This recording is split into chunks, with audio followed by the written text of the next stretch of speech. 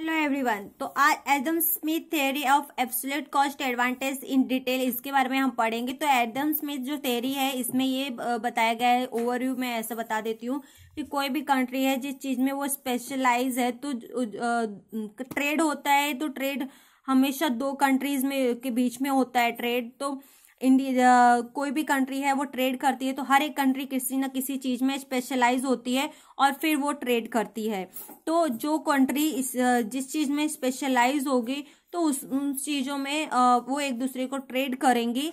और इससे रिलेशनशिप अच्छा होता है और फॉरेन एक्सचेंज वगैरह में भी होता है इकोनॉमिक डेवलपमेंट होती है और नॉलेज मिलता है और वेल कंज्यूमर वेलफेयर होता है सोसाइटी वेलफेयर होता है इकोनॉमिक ग्रोथ करता है डेवलपमेंट होता है प्रोग्रेस होता है। ये सब ऐसे वेरियस एडवांटेज होते हैं इंटरनेशनल ट्रेड के।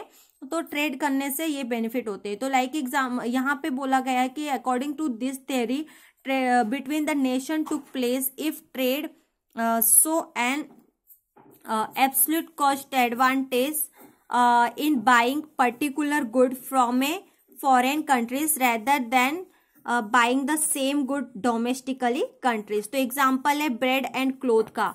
ब्रेड एंड क्लोथ में क्या है कि इंडिया प्रोड्यूस कर रहा है हंड्रेड ब्रेड एंड क्लोथ कर रहा है फिफ्टी एंड इंग्लैंड प्रोड्यूस कर रहा है fifty and England cloth produce कर रहा है हंड्रेड तो यहाँ पे देखा जाए नॉर्मली तो इंडिया ब्रेड प्रोड्यूस कर रहा है हंड्रेड तो अगर इंडिया हंड्रेड ब्रेड प्रोड्यूस कर रहा है और क्लोथ दो तो इंडिया को ब्रेड प्रोड्यूस अगर वो इंडिया इंडिया अगर क्लोथ प्रोड्यूस करता है मतलब इंडिया एक्सपोर्ट करता है इंग्लैंड को क्लोथ तो फिफ्टी क्लोथ में उसको लेबर कम लग रहा है इसमें।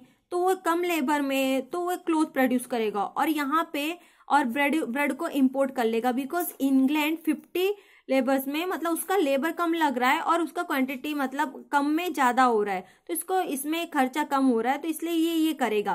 तो फिफ्टी में ये इंग्लैंड फिफ्टी प्रोड्यूस करेगा ब्रेड तो इसमें ये देखा जाता है कि इंग्लैंड ब्रेड में स्पेशलाइज है एंड इंडिया क्लोथ में स्पेलाइज है। हम ग्राफ के तो अच्छे से समझते हैं।